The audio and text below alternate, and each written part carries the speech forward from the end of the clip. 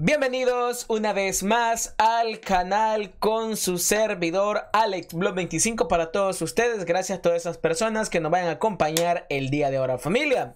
Pues como dicen por ahí que pues a estar enamorado está perro. Sí, está cañón. Vamos a hablar del señor eh, Fernando del Rincón que aparentemente está enamorado. Pues le pasó lo de Berta de León que pues se enamoró del presidente Nayib Bukele. ¿Por qué? Porque el señor Fernando del Rincón pues se ha agarrado a tirarle y a tirarle al Salvador de una y mil maneras. Ahora pues hasta diciendo que el régimen de sección en El Salvador es, es inconstitucional, como lo está escuchando usted. Él lo ha dicho bien claro. El régimen de, de sección dice es inconstitucional. Porque una persona que no es salvadoreña, una persona que su trabajo es hacer periodismo, va a andar diciendo que es inconstitucional un régimen de sección de un país que no es de él? Es mi gran pregunta. Vamos a estar hablando de eso también. También vamos a estar hablando del señor Beltrán Galindo. Sí, este ex arenero abogado que ahora anda supuestamente apoyando y avalando que pues la posible reelección del presidente Nayib Bukele. Este arenero a mí no me la hace buena. Arenero, pues que es arenero, no se le va a quitar la maña. Y este anda buscando de seguro su hueso o a que se tome bien para un próximo más tiempo adelante, pues venir y sacar, pues él salir como experto en reelecciones y etc etc, Vamos a hablar de ese tema también. Vamos a estar hablando también que los periodistas de nuestro país siguen metiendo la cuchara donde no lo deben. Vamos a estar hablando de una periodista, pues también de estos periódicos digitales de nuestro país, pues que está cuestionando la policía por las investigaciones que se están haciendo. Quiero que le prestemos atención a esto. Pero bueno, en fin, vamos a empezar con el tema bien importante que quiero mostrarle yo de sobre este señor que pues está viendo en su pantalla, el señor del rincón Vamos a ir a ver de la esquina, vamos a decirle también, porque recordarle que pues está como los del FMLN que ni llegan a trabajar y andan cobrando su salario. Vamos a irlos a pantalla completa, pues a mostrarle lo que decía el señor del rincón, que es, prácticamente muy llamativo. Hace pues unas pocas horas acaba de publicar este pues tweet, eh, pues también pidiendo opiniones a ex procuradores de la del país, ¿para qué anda pidiendo opiniones? Sabemos que todos los procuradores del país han sido tremendos malacates. Y dicho el señor Morales, el régimen de sección en el régimen de sección es inconstitucional en El Salvador. ¿Por qué dice esto? Y ha pues montado esta imagen el señor pues eh, Fernando del Rincón. ¿Con qué propósito lo hará? ¿Con qué eh, rollo buscará este tipo de rollo de andar publicando este tipo de cosas? Pero bueno, vamos a ir a la materia, a lo que decía. El régimen de excepción es inconstitucional desde que se aprobó la primera vez, dice ex procurador del Salvador. El procurador que anduvo metiendo la cuchara es el señor David Morales. Aseguró que el régimen de excepción es inconstitucional desde que se aprobó la primera vez. El gobierno salvadoreño afirma que el régimen de excepción y el plan control territorial aprobados por primera vez el 27 de marzo están dando resultados. El ministro de Justicia y Seguridad Pública del país, Gustavo Villatoro, ha dicho que, según sus datos, El Salvador cumple con más de 170 días sin homicidio y encamina a ser el país más seguro. Pero bueno, el señor del rincón, perdón, vamos a decirle de la esquina, vamos a ponerle la noticia, la pues hasta subrayado con rojo, donde dice el régimen de sección, el plan control territorial. Pero el señor David Morales, ex procurador de los derechos humanos en El Salvador, ahora esta gente es especialista en dar opiniones. Es mi gran pregunta.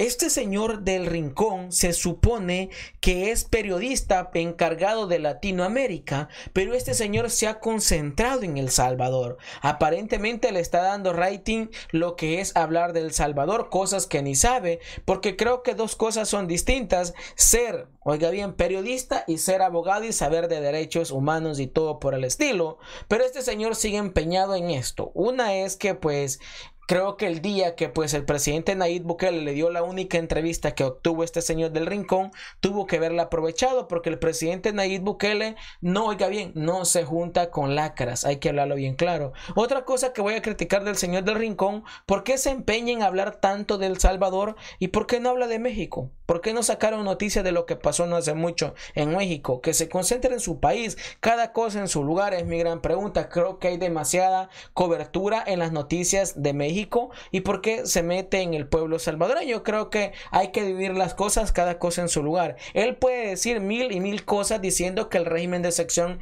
es inconstitucional, pero sabemos nosotros como los buenos salvadoreños que estamos contentos con lo que se está llevando a cabo. Entonces, mi pregunta es, ¿qué es lo que busca este señor? Mantener su rating en su noticiero que tiene en su entrevista, porque ha pedido entrevistas con el presidente Nayib Bukele hasta decir ya no, hasta hostigarlo prácticamente. Y ese es el dolor que tiene porque él dijo que hasta el presidente Nayib Bukele le había mentido en su momento. Pero bueno ya no vamos a hablar más del rincón. Yo creo que es de la esquina. Ya pues creo que le pasó lo mismo de Berta de León. Todos se enamoran del presidente Nayib Bukele. Así que ya estuvo, ya estuvo más, creo que puede concentrarse en su país y pues no en El Salvador, porque El Salvador es un país soberano, un país que está saliendo adelante gracias a las gestiones del presidente Nayib Bukele.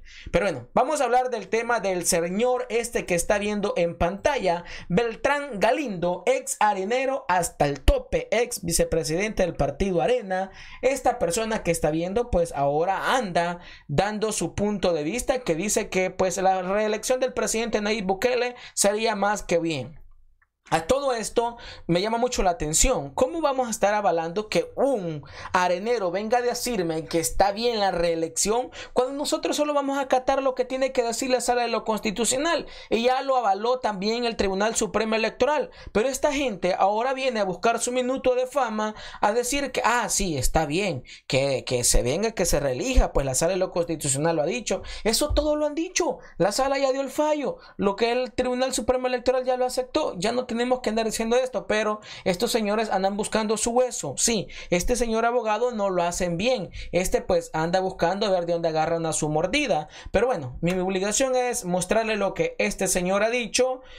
Porque es bien importante ver cómo, la, cambia, cómo cambia la personalidad de un arenero cuando ya se ve que no tienen ningún poder, que ya no huelen ni hiede. A mí pues me encanta escuchar este tipo de gente. Aquí está el, el, video, se lo vamos a poner acá un poquito en grande para que pueda escuchar usted lo que decía el señor pues Beltrán. Resolvió que en materia de reelección los primeros cinco años se puede reelegir el presidente. Esa fue la resolución. Después dijo que después de 10 años ya no, pero los, los inmediatos 5 sí. Entonces, eso además le da una orden al tribunal y le dice, usted no debe impedir si, si, si el presidente decide candidatearse para, un nuevo periodo. Eh, y el tribunal responde no sé con qué formalidad, pero responde oficialmente y dice, yo le voy a hacer caso a Sala de lo Constitucional. O sea que dicho de otra manera, la sala resuelve que sí y el tribunal dice, acepto que sí. Entonces, para contestar su pregunta, que está formulada estrictamente en términos de si institucionalmente en este momento está abierta la opción de la reelección, mi respuesta es categórica, sí está abierta.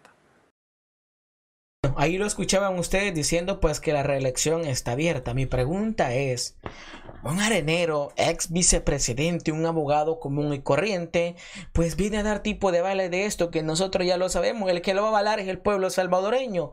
Ese es el que lo va a avalar. De ahí no importa que diga un arenero, un frentudo, que sí o que no, aquí hasta que nuestro presidente diga, hey, sí está bien, estoy de acuerdo que se reelija el presidente Bukele. Aunque para callarle la boca a esta gente, a mí siempre me gusta buscar testimonios del pueblo salvadoreño, que el pueblo se exprese, que el pueblo diga qué es lo que está pasando, si avala lo que el presidente está haciendo. No, porque a mí no me interesa que este arenero ande ya buscando a ver de dónde muerde algo o algo por el estilo, quiere salir en caballo de oro, se quiere voltear, quiere dejar como ya sabe que Arena está terminado, que Arena ya no tiene oportunidad, que Arena hoy anda invitando a que se vayan a echar un atol pues de lote y todo eso. Eso es mil mentiras. Esta gente por eso anda buscando de dónde agarrarse y es del presidente Nayib Bukele. Pero bueno, yo quiero que veamos a ver qué es lo que opina el pueblo salvadoreño referente a esto. Porque a mí me encanta escuchar al pueblo, porque el pueblo es el que decide. Cualquier sinvergüenza, arenero, frentudo puede decir lo que quiera, pero acá esto es lo bueno. Él ha hecho bastante, bastantes obras ha hecho buenas. Y si lo pudieran elegir, pues votaríamos por él, pues porque es una buena persona. ¿Está usted de acuerdo con la reelección entonces? Estoy de acuerdo. Ahí vamos a votar por él. ¿Reelección del presidente Nayib Bukele? Pues sí, la verdad sí. He hecho muchas cosas que, que la apoyaría, la verdad. Muchas cosas buenas, cambios, muchos cambios. ¿Qué opina de la reelección? Que vuelva a quedar. Sí, hombre, votaríamos otra vez por él. 100%. ¿Y sobre una posible reelección qué piensa? Tiene mi voto. Tiene mi voto el presidente. ¿Y sobre la una posible reelección? Oh, sería grandioso tener a nuestro presidente otra vez. Él ha hecho Esto es lo que a mí me interesa escuchar.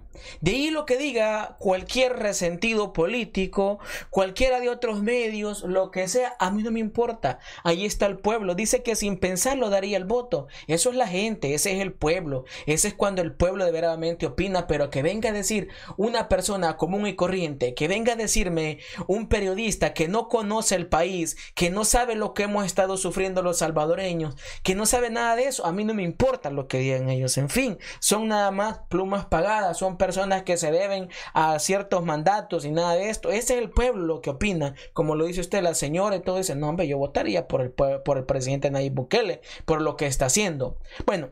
Ya que hablamos de estas personas, que a mí me gusta siempre hablar de estos diferentes temas, quiero hablar quién está preocupado por hermano usted de la diáspora. Si supiera usted quién se está preocupando por usted, por su voto y todo esto, es Claudia Ortiz. Sí, aunque usted no lo crea. Ella le interesa al pueblo salvadoreño, le importa la diáspora ahora, Claudita Ortiz, donde ha dicho que quiere que la diáspora vote, que su voluntad se respete y que su voto sea secreto. Es lo que ha dicho la diputada Claudia Ortiz que hoy sí le interesa demasiado, ama la diáspora, hoy por hoy la diputada Claudia Ortiz. Y esto ha dicho en su Twitter oficial la señora diputada. Ha dicho queremos que la diáspora vote, que su voluntad se respete y que su voto sea secreto. De momento no hay garantías para ello. Y pues la señora pues redactaba pues la noticia que decía lo que es el salvador.com que es el diario de hoy que es una nota que pues daba lo que es la secretaria del partido Vamos donde se decía que la señora Sofía Vaquerano es difícil decía por ahí hablar del posible fraude si no se da garantía Oiga bien, que no se garantice la secretividad del voto, decía la señora, pues, secretaria del partido Boy. Ahí estaba escuchando usted, pues, la que estábamos leyendo y que ellos, pues, exigen una, pues, una garantía del voto. Ellos son expertos en todo esto. Hoy les interesa demasiado la diáspora, hoy a esta gentuza. Pero bueno, usted va a evalúe, usted diga qué ondas, qué rollo. Y pues como dice acá, Sofía Vaquerano, es difícil no hablar del posible fraude si no se garantiza secretividad del voto en el exterior. La experta consideró que el retraso en la ley del voto en el exterior podría ser porque el Tribunal Supremo Electoral no tiene la capacidad para estructurar en poco tiempo un sistema de votación tan complejo como la es la votación electrónica. Bueno, y pues ahí miramos a su diputada, digo, a Claudia Ortiz, lo que es diciendo que pues está preocupada por la diáspora. Ay, esta gente es un chiste, señor. Esta gente no se aburre de hacer ridículo. Es que es increíble que una diputada que no apoya nada de la transformación del pueblo salvadoreño ahora venga a preocuparse por el voto en el exterior. Mi pregunta es, Claudia Ortiz pensará que la diáspora va a votar por ella en las próximas elecciones. Esa es mi pregunta, porque yo no votaría por nada del mundo por lo que es la diputada de Boy. Sí, pero sarcásticamente. Yo no votaría por nada del mundo, porque yo sé esta gente el daño que le está haciendo al pueblo salvadoreño. O sea, los procesos de transformación no los están apoyando. Yo no votaría por nadie del FMLN, de Arena, de Boy, de Juanito Gray. Yo no votaría por nadie de eso. Pero ellos están preocupados por la diáspora. Pero en fin, la hipocresía.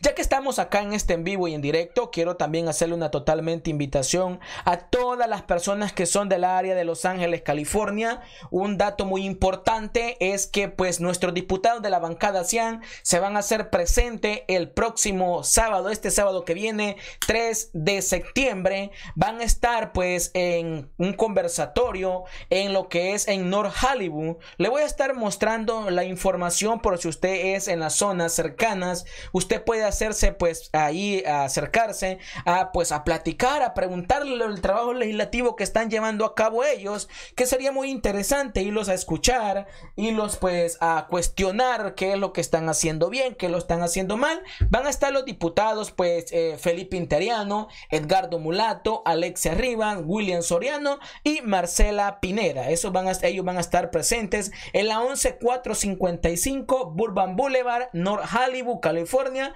91601 y ahí está pues a las 4 pm el sábado 3 de septiembre. Si me preguntan si voy a estar yo ahí, allí voy a estar presente primero Dios y pues recuerdes esto no tiene que hacer reservación usted de nada absolutamente de nada usted hágase presente pues es una iglesia estar sumamente grande y pues usted pues nomás cáigase temprano para poder agarrar asiento por ahí y pues vaya a platicar vaya a ver qué es lo que tienen que decirnos los diputados de nuevas ideas de nuestro país que por cierto están haciendo un gran trabajo así que ahí les dejo la invitación espero que pues contar con su presencia. Ahí está toda la información, tómelo en screen y lea ahí, póngale la dirección y cáigase a North Hollywood para poder ir a apoyar a nuestros diputados. Ahí nos vemos, ahí voy a estar yo, primero Dios, en esta pues en este conversatorio con nuestros diputados. Así que familia, ahí está la información más eh, relevante de nuestro país.